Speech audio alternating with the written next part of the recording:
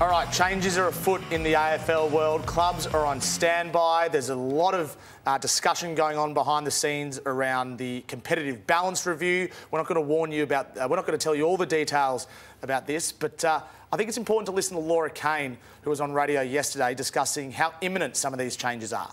We will um, make sure we get through the player movement outcomes, including father son, in the next couple of So if that's not coming for a couple of months, you wouldn't think it'd impact this year's draft? It might. It still might. Yep. That's late.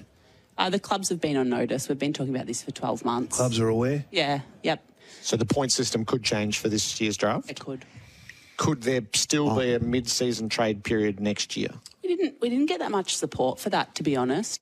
So if clubs are aware and clubs are on notice, then I'm shocked because the clubs I've spoken to are absolutely not aware that this uh, change in points and how much clubs will have to pay for academy players and father sons would be coming in for this year. It simply wasn't on their radar for 2024. I'm talking Carlton, who specifically last year went out and got three fourth round picks to be ready for this year. They traded out a third round pick and they pushed picks from last year into this year. I'm talking about Richmond, who were preparing to stock late picks in 2024 so they could then bundle them up and get players in. These clubs weren't aware. So I don't know whether it's a breakdown in communication or whether it's simply the AFL doing whatever it sees is right for the moment.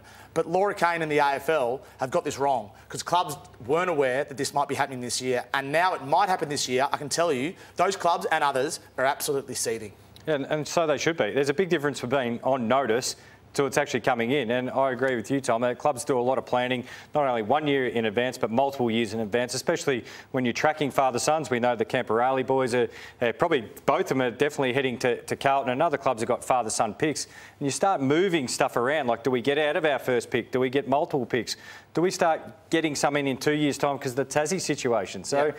they're, they're doing so much forecasting, but just to have on notice, got to be a bit better than that. That sounds very strange, except they changed the holding the ball rules overnight, so who knows? They can do whatever they want. They would say they changed the interpretation, but I'm with you completely there, Leigh. To say it's bad luck is just ridiculous. Um, there'd be no other professional sport in the world that would be changing rules like this with just three or four months' notice. Brisbane, of course, is also impacted with uh, their academy and father-son players. I want to ask you about the National Reserves comp as well, because Port Adelaide is banging their fist again on the table. They are desperate for this comp to come in. Fremantle is the complete opposite. All other clubs are somewhere in between. Do you think it would be good for the game or not? Well, it's not far off that now, Jimmy. As we know, the uh, the VFL, as it's called, has got the teams from uh, from New South Wales, Queensland, Victoria, and, and and some standalone clubs. And the standalone clubs trying to compete against the sort of reserves team. So I would the cost the issue. I mean, you're going to have to play, uh, fly uh, another group of people around Australia, so it's going to be